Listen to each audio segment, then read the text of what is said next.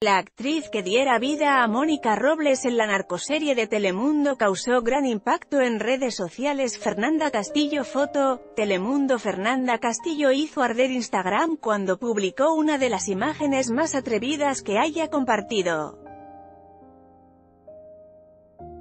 La que fuera protagonista de El Señor de los Cielos, subió una foto en donde aparecen dobles y con lencería que sorprendió a sus admiradores.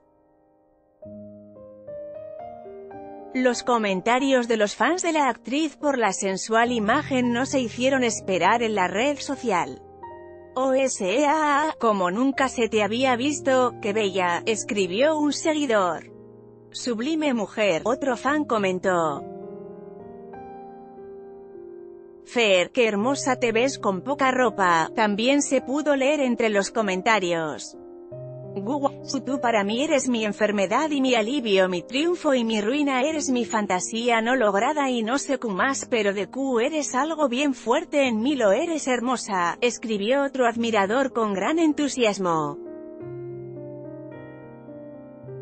Entre los comentarios también hubo quienes le recordaron a Mónica Robles, el nombre del personaje que interpretó en la serie de Telemundo. Recientemente, Castillo declaró que no le había gustado del todo el final que tuvo su personaje. Yo no lo hubiera acabado así, pero los actores nunca decidimos ese tipo de cosas, dijo la actriz a People en español. Yo creo que debía de haber muerto a manos de Aurelio ni siquiera a manos de Aurelio, defendiendo a Aurelio. Así lo hubiera terminado yo.